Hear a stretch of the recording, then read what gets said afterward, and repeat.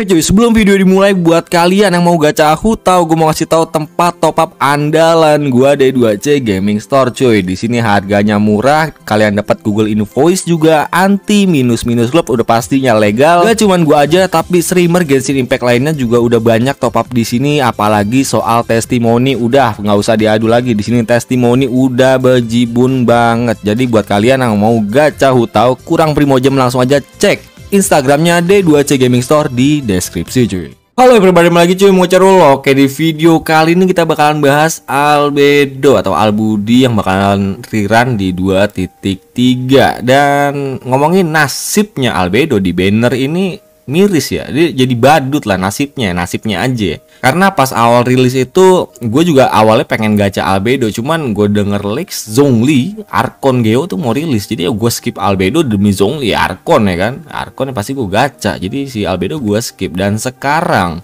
Leaks 2.3 awalnya itu albedo Ito Udah itu doang berdua.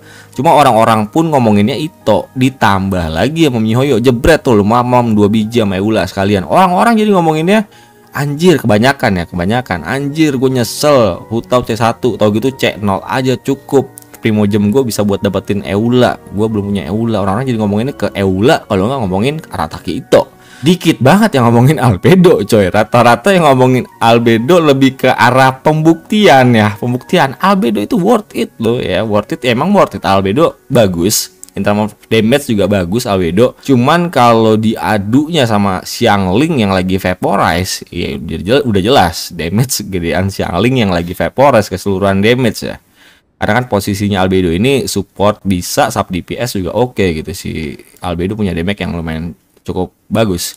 Cuman di luar itu semua, Ling ini kan emang dia elemennya pyro. Kalau Albedo ini kan Geo. Geo ini kan Genshin elemennya itu lebih ke arah tanker, Bro. Karena elemental mastery-nya, elemental reactionnya sorry, itu ngasih crystallize yang jadi shield ya. Memang di desainnya rada tanker lah. Tapi gue rasa dari kalian semua yang punya Albedo, gue yakin punya pengalaman tertolong dengan crystallize yang dihasilkan dari skillnya Albedo. Karena gue sendiri punya Zhongli, elemental mastery Zhongli gue kecil, dapat crystallize pun itu kadang menolong coy Oke, kita bahas albedonya. Ini albedonya bukan punya gua, punya Kagerama. By the way, thank you buat si Kagerama udah minjemin albedonya. Oke, Oke cuy, di sini kita bakal bahas buat albedo ya. Albedo ini statnya ya, itu emang lebih fokus ke defense daripada attack ya. At least 1000 lah attack sisanya ke defense udah bagus. Di sini crit rate dapat 38,4, crit damage dapat 200, energi recharge 122. Albedo ini costnya sedikit ya, nggak gede. Geodynamic bonus dapat 90,4 kita lihat senjatanya albedo ini bintang 5 yang paling F2P friendly menurut gua karena pakai HOD aja udah bagus banget ya pakai HOD damage-nya udah oke okay banget Nanti di update terbaru weapon bintang 4 gratis bisa di refine sampai 5 kalian pakai itu aja. Menurut gue itu lebih baik daripada HOD karena gue rasa Mihoyo awalnya itu kan nyiptain festering desire ini untuk albedo cuy ya. Cuman ternyata orang-orang lebih enak, lebih nyaman urusan damage itu dengan HOD akhirnya Mihoyo mungkin menilai itu ya dibikin lagi lah senjata yang uh, lebih baik untuk albedo daripada Festering Desire nanti di patch 2.3 ya. Dan kalau senjata bintang 5 menurut gua kalian bisa kasih aja ke karakter lain yang membutuhkan ya.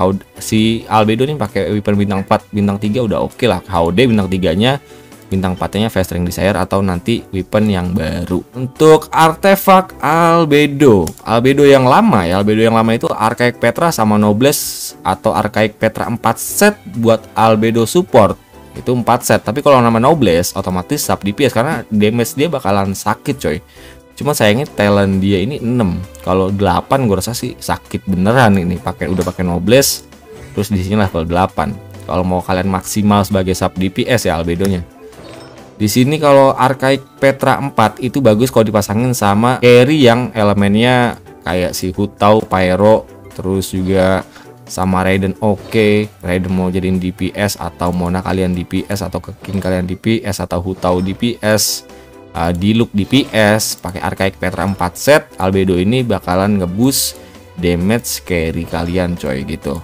dan untuk artefak Archaic Petra Nobles ini Albedo nya jadi sub DPS ya. Cuman kalau gue pribadi, gue kalau masangin albedo sama uh, carry yang modelan kayak look kayak si Ayaka gue bakal pakein Petra tapi kalau Albedo dipasanginnya sama modelan kayak Xiao nggak guna pakai Petra 4 set lebih bagus artefaknya seperti ini ya dan untuk main statnya itu di sini dia defend udah pasti ya ini harus defend karena si Albedo ini fokus sama defend state di sini geodemic bonus di sini critical rate atau critical damage nanti kan senjata yang baru itu substatnya defend kalian pakai aja critical rate untuk roundnya si albedo cuy Nah di sini kenapa bang nggak pakai dev aja kan ada goblet defend? Nggak coy.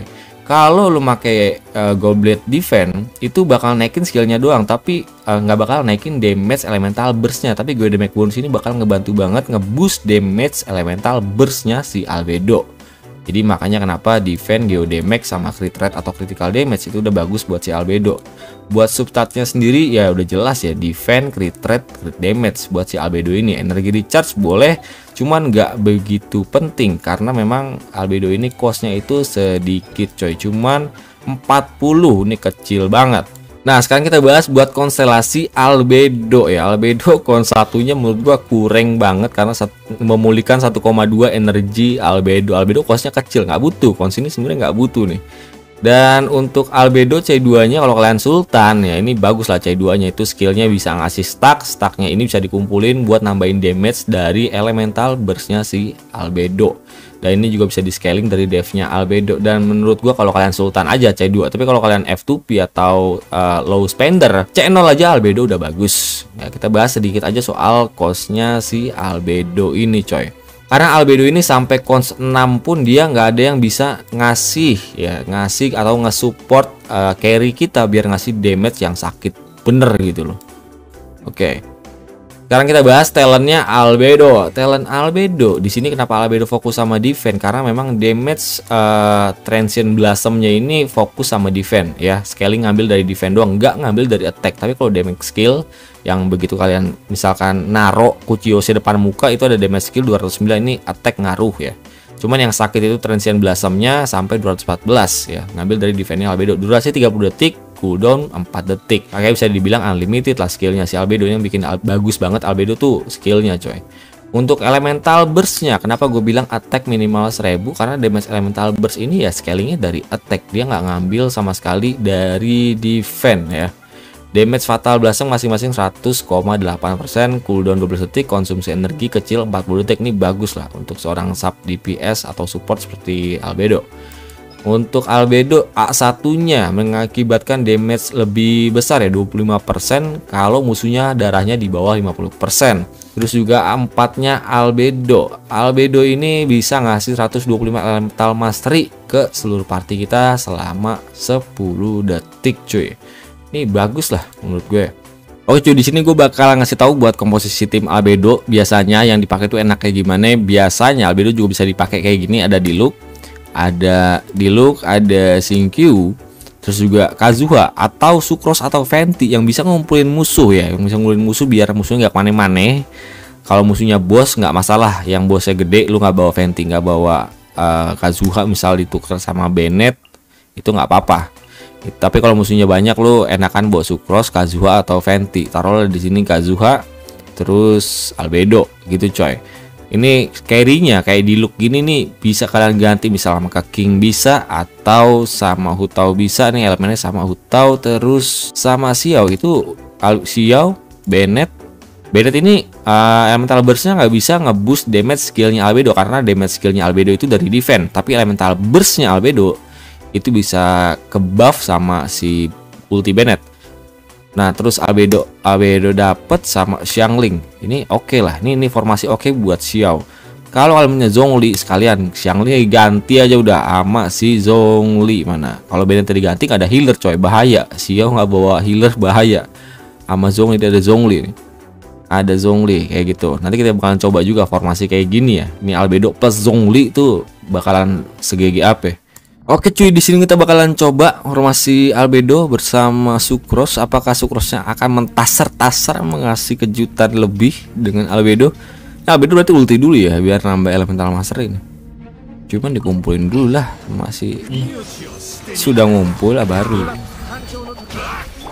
Kumpulin lagi. Bisa gak? Oh, ngumpul ya. Bang, kumpul bang. Nah udah di situ aja bang, bertiga bang. Gak usah mana mana bang. Gak usah kemana-mana bang.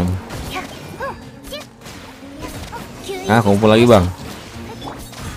Nah, kena lu electro charge. Hmm. Hmm.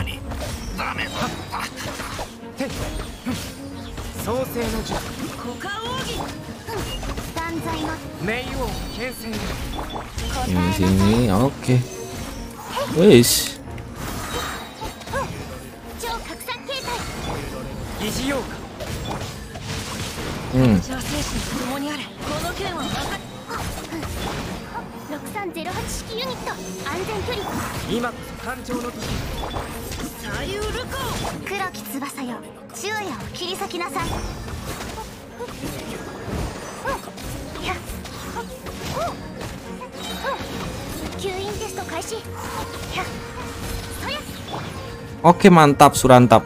Oke di sini nih kita sekarang pakai formasi yang sangat-sangat overpower. Ada Bennett, Albedo, Zongli, Xiao. Ini formasi gokil sih ini. Ini bisa dibilang formasi yang bikin Xiao nggak bisa mati cok. Ya kan? Resonansi 2G. Tak.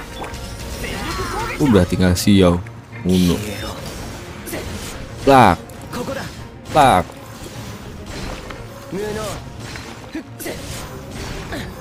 Ini bang. Ah, habis musuhnya. Riau dilawan. Hmm, hmm.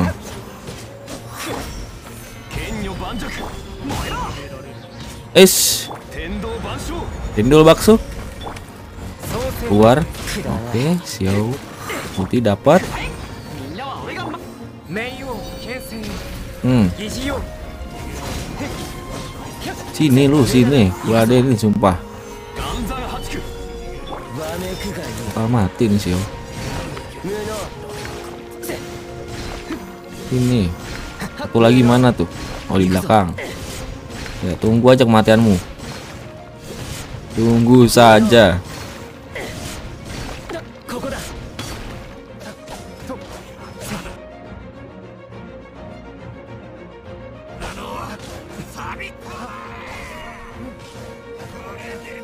Oh cuy, sebelum closing kita bahas dikit soal artefak baru yang cocok juga sama Albedo, artefak Dreams lah. Ini gue singkat aja namanya. Dua setnya nambah dev 30%, cocok sama skillnya Albedo ya, nambah damage pastinya 4 setnya juga cocok karena dia punya stack, stacknya ini bisa ditumpuk sampai 4 dan setiap satu stacknya itu ngasih tambahan 6% defense dan 6% geo damage bonus, otomatis kalau 4 stack itu total 24% tambahan defense dan geo damage bonus, ini bagus banget sama Albedo ya, artefak Dreams ini cocok buat build sub DPS Albedo kalau full stack akan lebih baik dari dua Petra dan dua Nobles dengan stat artefak yang mirip-mirip ya.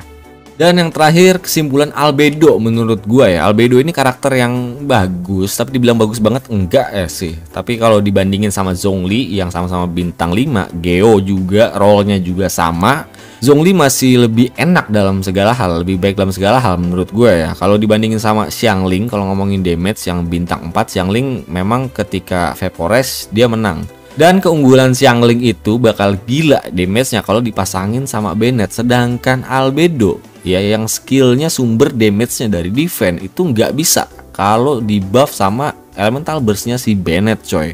Hmm, kalau aja Albedo di buff misal dirubah skillnya jadi bergantung sama attack itu bakal jauh lebih baik buat si Albedo. Bisa lebih gila lagi Albedo ini. Dan untuk kelebihan albedo sendiri ya jelas yang pertama dari gelar karakter paling F2P friendly ya. Yang pertama itu sih. Terus dari segi kemampuan skillnya nggak terbatas ya walaupun Raiden Shogun juga skillnya nggak terbatas. Dan yang terakhir damage elemental burst yang lumayan sakit dengan cost yang kecil coy. At last but not least gacha albedo world atau enggak bang kalau kalian ada rencana mau bikin best team buat Arataki Ito atau Ningguang ya go lu gacha albedo bakalan GG banget kalau ada arah Kito dipasangin albedo dipasangin Zong, dipasangin si Harit tuh bakalan GG banget coy tapi kalau nggak ada rencana ke arah sana menurut gua nggak perlu karena menurut gua DPS lain selain Ito sama Ningguang itu nggak butuh albedo buat dapetin performa yang bagus banget So jadi ya udah gitu aja buat video kali ini. Kalau kalian suka video bisa di like, comment, and subscribe. So see you next time. Jaga kesehatan buat lo semua. Goodbye cuy.